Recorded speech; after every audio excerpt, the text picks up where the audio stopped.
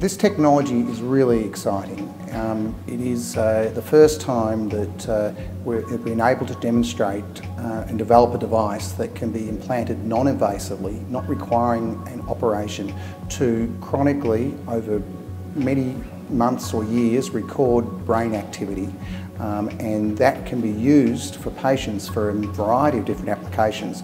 But the most obvious is for people who are paralysed following a, uh, a, stroke or a, uh, or a spinal cord injury, um, that it can allow the, the brain brainwave activity to be, um, to be recorded and translated into, uh, into hopefully movement in the long term. But it also has applications for many other areas. Patients with epilepsy can chronically record their seizures and allow better treatment for epilepsy. It could potentially used as a stimulation device for conditions like Parkinson's disease.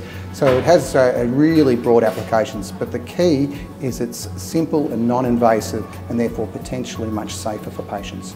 Um, this has been a holy grail for uh, the research in bionics is to um, develop a device to record brainwave activity over a long period of times and mostly it's been done by implanting um, directly through neurosurgical procedures electrodes onto the brain. The problem with that is it is invasive, it has, has risks and also the electrodes are planted directly on the brain can set up infection and fibrosis and ultimately the, the quality of the recording deteriorates.